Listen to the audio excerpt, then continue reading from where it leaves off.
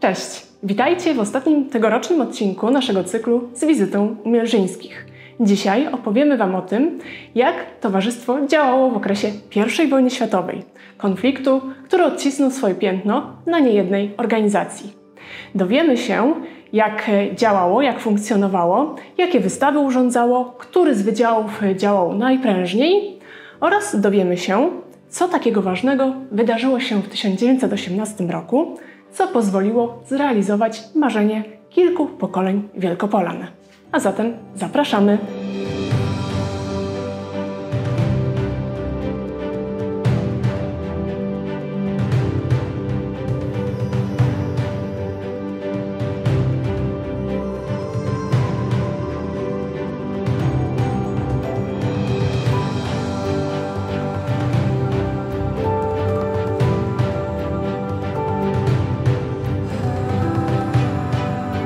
Z wybuchem wojny prace towarzystwa zostały wstrzymane.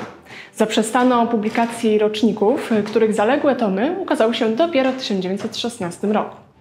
Zamknięto bibliotekę oraz muzeum. Swoich spotkań nie organizowała większość wydziałów. Właściwie dopiero po upływie roku towarzystwo powróciło do w miarę normalnej pracy.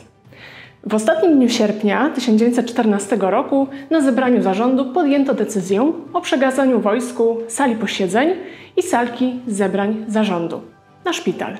Planowano również przekazać 400 marek na Czerwony Krzyż.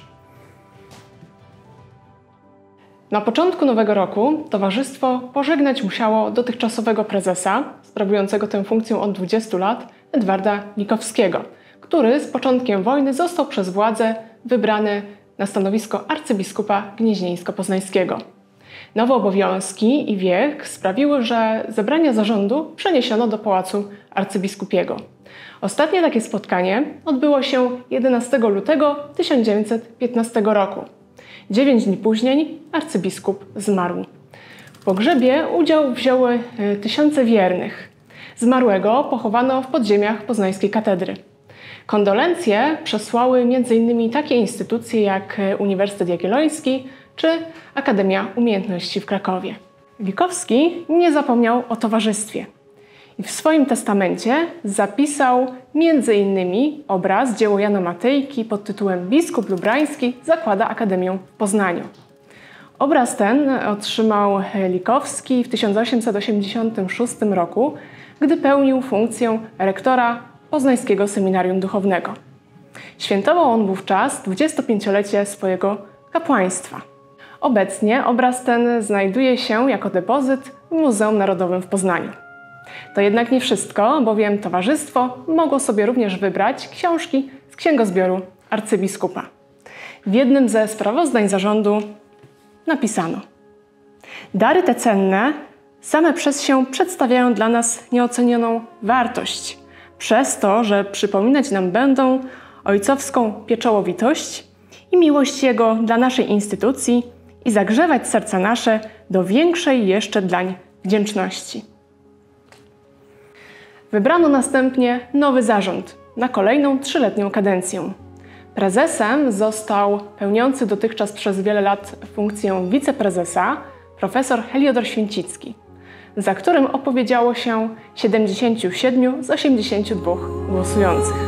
Wiceprezesem został zajmujący dotychczas stanowisko redaktora roczników Stanisław Karwowski, sekretarzem towarzystwa mianowano radcę Jana Głębockiego, a skarbnikiem Stanisława Pernaczyńskiego. Nowym redaktorem roczników został ksiądz Stanisław Kozierowski, proboszcz ze Skórzewa.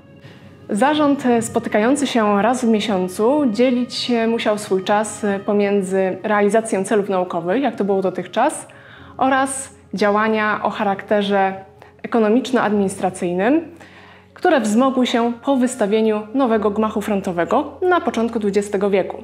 Zresztą dzięki zmarłemu arcybiskupowi. W 1917 roku towarzystwo oraz zarząd poniosły wielką stratę przez śmierć dotychczasowego wiceprezesa, profesora Stanisława Karwowskiego.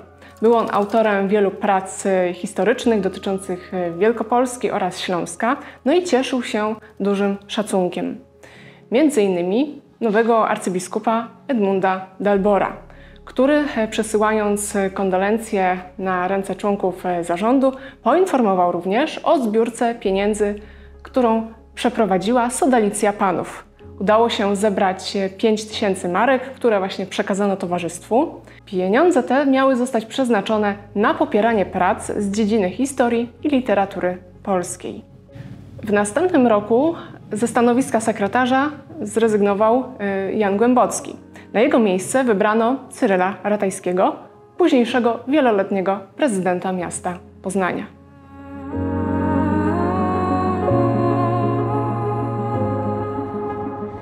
1914 roku właściwie jedynie Wydział Lekarski kontynuował swoją działalność, podczas gdy inne musiały ją zawiesić.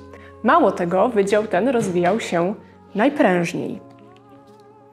Zbierano się dwa razy w miesiącu na posiedzenia, na których wygłaszano wykłady i referaty i demonstrowano preparaty i przypadki. Ożywił się ruch naukowy m.in. dzięki zagadnieniom z dziedziny chirurgii wojennej.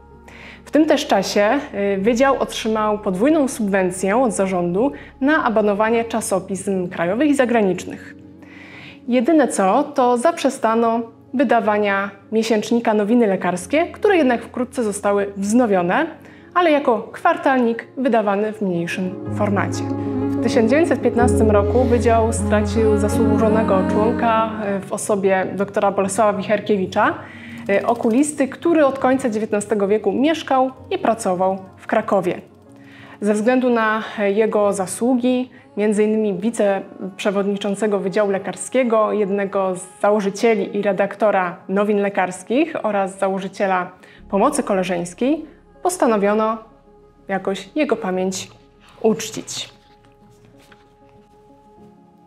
Postanowiono wysłać współczucie do Towarzystwa Lekarskiego w Krakowie umieścić ogłoszenia i wspomnienia pośmiertne w czasopismach poznańskich, zamówić im mszę za duszę zmarłego, rozpocząć składkę na pomoc koleżeńską na Fundusz Żelazny imienia Bolesława Wicherkiewicza i zwołać nadzwyczajne zebranie naukowe na jego cześć. W 1915 roku swoje spotkania wznowił Wydział Historyczno-Literacki – i znowu, tak jak przed wojną, spotykano się, wygłaszano referaty, które następnie były publikowane w rocznikach towarzystwa lub też innych czasopismach, a także zapoznawano się z obiektami, które wpłynęły do muzeum. Trochę mniej szczęścia miał Wydział Przyrodniczy, który już na kilka miesięcy przed wojną miał problem z organizacją swoich spotkań. W 1915 roku odbyło się zaledwie jedno spotkanie, a w roku następnym tylko trzy ale gdy już do nich dochodziło, prace wyglądały podobnie jak w Wydziale Historyczno-Literackim. Czyli wykłady, dyskutowano o nowych obiektach, które wpływały do działu przyrodniczego oraz do biblioteki wydziałowej, no i też rozprawiano o potrzebach finansowych właśnie działu przyrodniczego. Nie udało się natomiast zorganizować wspólnych wycieczek naukowych. Jeszcze mniej szczęścia miał Wydział Techniczny, który w okresie I wojny światowej zakończył swoją działalność. Było to związane z powołaniem większości członków tego wydziału do armii niemieckiej. Mimo kolejnych e, problemów spowodowanych wojną, m.in. właśnie e, powołaniu członków towarzystwa do wojska, problemów z organizacją spotkań wydziałów już istniejących, zdecydowano się na powołanie do życia dwóch nowych wydziałów, a były to Wydział Historii Sztuki oraz Wydział Teologiczny. Dzięki temu liczba członków towarzystwa wzrosła do 788. Do Wydziału y, Historii Sztuki przystąpiło 47 nowych członków, z czego 27 nie było wcześniej związanych z towarzystwem. Na czele Wydziału Historii Sztuki stał Jerzy Hulewicz, którego brat y, Bohdan służył wówczas y, w wojsku niemieckim, ale nie porzucił swoich zainteresowań. Będąc w Poznaniu, wygłosił wykład na temat zniszczonych zabytków architektonicznych we Flandrii. Wystąpieniu temu towarzyszył nawet pokaz świetlanych obrazów.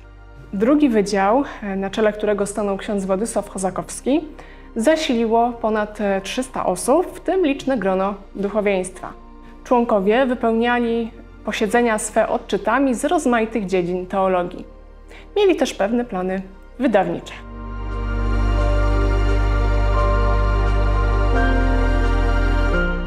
Tak przed wybuchem wojny, jak i Już w trakcie jej trwania towarzystwo podejmowało się organizacji e, uroczystości ku czci ważnych rocznic. W 1916 roku uroczyście obchodzono 500-lecie urodzin Jana Długosza. Uroczyste walne zebranie, e, na którym zgromadziło się około 150 osób, e, zorganizowano w odnowionej sali posiedzeń. Została ona przyozdobiona portretem Jana Długosza, wykonanym przez Jerzego Hulewicza, przewodniczącego Wydziału Historii Sztuki. Choć e, okrągła rocznica urodzin Długosza przypadała w roku 1915, to jednak ze względu na zawieruchę wojenną organizacja uroczystości możliwa była dopiero w następnym roku. W rocznikach towarzystwa odnotowano. Korzystając z tego, że dzielnica nasza najmniej ucierpiała wskutek obecnej zawieruchy wojennej, postanowiono spłacić dług wdzięczności wobec cieniów wielkiego męża, którego w normalnych warunkach czciłaby była cała Polska jak kraj szeroki. Specjalnie na tę okazję kantatę skomponował e, ksiądz Wacław Gieburowski, a prezes Święcicki w swoim przemówieniu powrócił do 1880 roku, kiedy to przy okazji drugiego pochówku e, Długosza w Krakowie zorganizowano specjalny kongres historyczny, w którym udział wzięli również członkowie towarzystwa, m.in. Kazimierz Szulc i Edward Likowski. Następnie głos zabrał przewodniczący Wydziału Historyczno-Literackiego Stanisław Karwowski, który przedstawił zebranym referat zatytułowany Jan Długosz jako pisarz. Tekst ten następnie ukazał się w rocznikach towarzystwa. W tym samym roku obchodzono również jubileusz dwóch znanych poznańskich lekarzy. Swoje 60. urodziny obchodził prezes profesor Święcicki, natomiast e, Franciszek Łapowski, opiekun zbiorów e, przyrodniczych, świętował 40-lecie swojej pracy. E, z tej okazji Wydział Lekarski zorganizował nie tylko uroczyste zebranie, ale również wydano specjalny jubileuszowy numer nowin lekarskich.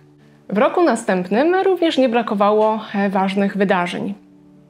Między innymi zorganizowano znów y, uroczyste zebranie, uroczyste walne zebranie, by uczcić setną rocznicę śmierci Onufrego Kopczyńskiego, autora pierwszego podręcznika gramatyki języka polskiego. Gościem specjalnym był przybyły z dalekiego Lwowa profesor Kazimierz Nicz. To jednak nie wszystko, bowiem tego dnia również przypomniano o pierwszym walnym zebraniu, od którego mijało właśnie 60 lat. E, przypomniano pokrótce wydawnictwa, jakie przez ten okres ukazały się w towarzystwie. Obok kolejnych tomów roczników, obok Kodeksu Wielkopolskiego, kolejnych numerów nowin lekarskich i innych publikacji, opowiedziano również o popularnym przewodniku po zbiorach muzealnych, który dopiero co się ukazał. A więc przenieśmy się teraz do muzeum.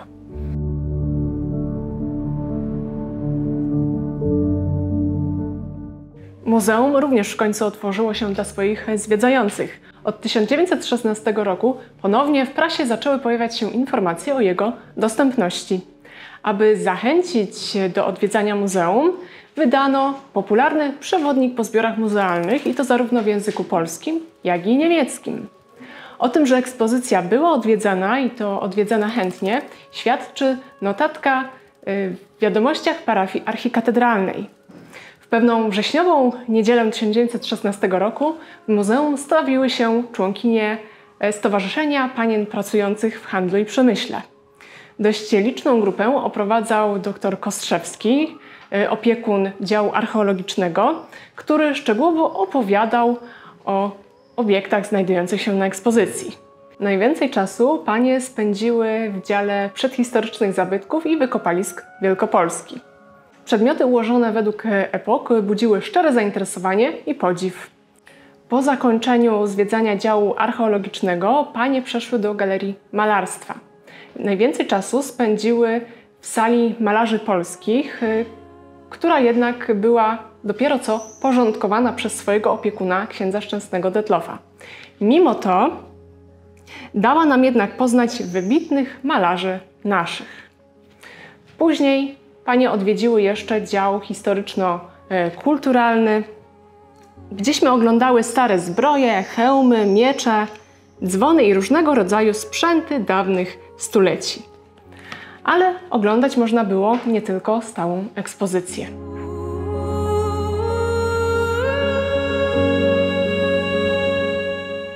W okresie I wojny światowej zorganizowano w muzeum dwie wystawy czasowe. Zajęli się tym opiekunowie e, Kostrzewski oraz Detlow. Pierwsza z tych wystaw została otwarta 18 listopada 1917 roku. Była ona poświęcona Tadeuszowi Kościuszce, bowiem w tym roku przypadała setna rocznica jego śmierci. Na ekspozycji zebrano e, obiekty pochodzące zarówno ze zbiorów muzeum, jak i ze zbiorów prywatnych.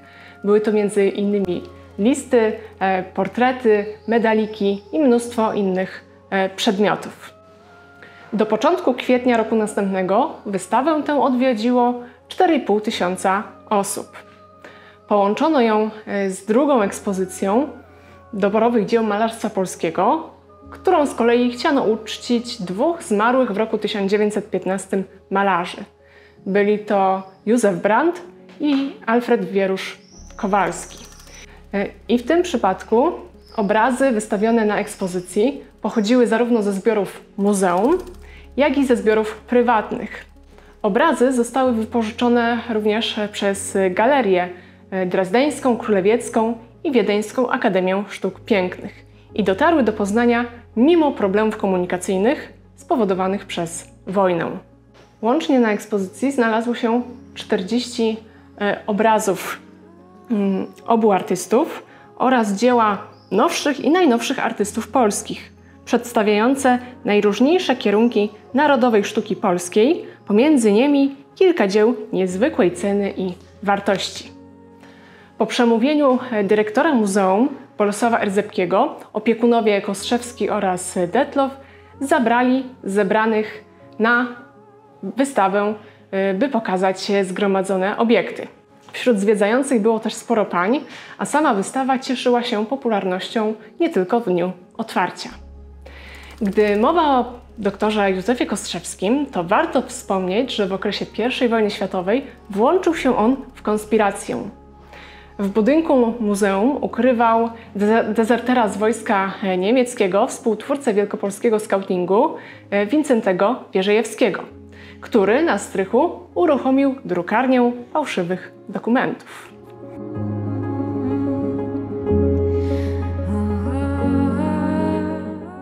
Rok 1918 przyniósł duże zmiany w życiu regionu. Otworzył on drogę do realizacji marzenia, które towarzyszyło kolejnym pokoleniom Wielkopolan do realizacji marzenia o własnym uniwersytecie.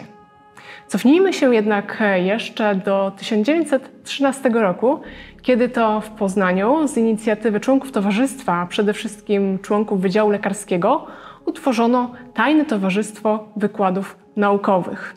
W jego ramach organizowano wykłady z różnych dziedzin. Należało do niego kilkaset osób, które do wybuchu wojny wysłuchały 42 wykładów. Były one organizowane nie tylko w Poznaniu, ale także w Gnieźnie czy Inowrocławiu. Prelegentami e, byli goście z pozostałych dwóch zaborów, jednak po wybuchu I wojny światowej ten ciężar wykładów musieli wziąć na siebie lokalni ludzie nauki. Stąd znowu spotykamy znane nam już nazwiska Kostrzewskiego, Detlofa, Erzepkiego e, czy Gieburowskiego. Na początku 1918 roku wykłady te zostały przekształcone w dwuletni kurs, e, w którym brać udział mogli e, tylko ci, którzy ukończyli szkołę średnią. Poznać można było e, zagadnienia z wielu dziedzin, innymi z prahistorii, geografii, muzykologii, językoznawstwa e, czy filozofii. Ukończenie takiego kursu miało w przyszłości umożliwić e, dostanie się na jedną z polskich uczelni. Wydarzenia, które rozgrywały się jesienią oraz zimą 1918 roku, sprawiły, że kursy te zostały zawieszone. Już w połowie 1918 roku z inicjatywy Święcickiego członkowie towarzystwa dyskutowali nad koncepcją utworzenia uniwersytetu. Kolejny etap to już 11 listopada. Znajoma data? Mm, podjęto wówczas decyzję o utworzeniu w Poznaniu Komisji Organizacyjnej Uniwersytetu Polskiego. W skład y, komisji weszli członkowie e, towarzystwa Michał Sobeski, Stanisław Kozierowski, Józef Kostrzewski jako sekretarz, natomiast profesor Święcicki został przewodniczącym. Miał on największe rozeznanie w możliwościach y, poznańskiego środowiska naukowego, miał też liczne kontakty z uczonymi polskimi i zagranicznymi, a poza tym dostrzegał ten odpowiedni moment, który może się już nie powtórzyć. Pierwsze spotkanie odbyło się na sali posiedzeń Wydziału Lekarskiego. Uznano wówczas, że uniwersytet powinien zacząć swoją działalność w kwietniu 1919 roku, a więc pięć miesięcy po utworzeniu komisji. Trzeba przyznać, że było to nie lada wyzwanie. Gdy władzę w regionie przejmować zaczęły polskie instytucje, y, pomysł utworzenia w Poznaniu Uniwersytetu został zaakceptowany przez Naczelną Radę, Radę Ludową oraz nadburmistrza miasta, adwokata Jarogniewa e, Drwęskiego. Y, w grudniu y, Komisja Uniwersytecka została przekształcona w organ pomocniczy Komisariatu Naczelnej Rady Ludowej. W tym momencie rozpoczęto e, starania o budynki, o pieniądze oraz przede wszystkim o kadrę naukowo-badawczą. Tworzyć ją mieli młodzi naukowcy z Galicji oraz z ośrodków e, zagranicznych, a ogłoszenia o pracy w Poznaniu można było znaleźć w prasie. Przesłano wiele odpowiedzi, które napływały z wielu krajów, m.in. z Niemiec, z Rosji, z Francji, Szwajcarii czy Stanów e, Zjednoczonych. Z pomocą przyszło również odradzające się państwo polskie. Minister y, Wyznań Religijnych i Oświecenia Publicznego włączył Święcickiego do komisji stabilizacyjnej, która miała się zająć obsadzeniem katedr na Uniwersytecie Warszawskim. Gdy to zadanie zostało wykonane, na prośbę Święcickiego zajęto się Uniwersytetem Poznańskim i jego potrzebami kadrowymi. W kwietniu 1919 roku rozpoczął swoją działalność y, Wydział Filozoficzny, a Święcicki został pierwszym rektorem. Pierwsze obiekty przekazane nowemu uniwersytetowi to parter dawnego Zamku Cesarskiego, czyli Collegium Majus, oraz dawniejsza Akademia Królewska, czyli Collegium Minus. Inauguracja działalności uniwersytetu, która miała miejsce 7 maja 1919 roku, została połączona z obchodami 400-lecia Akademii Lubrańskiego, wyższej uczelni utworzonej na Ostrowie Tumskim przez e, biskupa lubrańskiego. Do tradycji tej szkoły e, w swoim przemówieniu nawiązał rektor Święcicki. Wspominał także o działalności braci Śniadeckich, e, o działalności Karola Libelta i Augusta Cieszkowskiego, którzy również, jak pamiętacie, starali się o powołanie w Poznaniu uniwersytetu.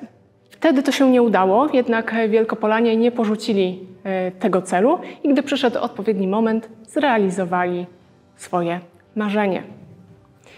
Podsumowaniem tego naszego ostatniego odcinka niech będą słowa arcybiskupa Dalbora, wypowiedziane na jednym z zebrań 14 lutego 1917 roku. Wojna, jak się dziś naocznie przekonujemy, nie powstrzymała zbożnej pracy Towarzystwa Przyjaciół Nauk dla dobra i sławy nauki polskiej. Przeciwnie, dała mu jakoby nowy rozmach – Oby tych pracowników i opiekunów było jak najwięcej i jak najowocniejsze poparcie naszej instytucji. Słuszna nas wszystkich będzie wówczas duma, że to, co zdziałaliśmy i stworzyliśmy, powstało naszą własną siłą. To przeświadczenie wlewa w nas otuchę, że wytrwamy, że przetrwamy choćby największe burze światowe. I to już ostatni odcinek naszego cyklu z wizytą Mierzyńskich. Bardzo dziękujemy, że byliście z nami i zapraszamy Was również do naszych wcześniejszych odcinków, jeżeli ich jeszcze nie widzieliście. Cześć!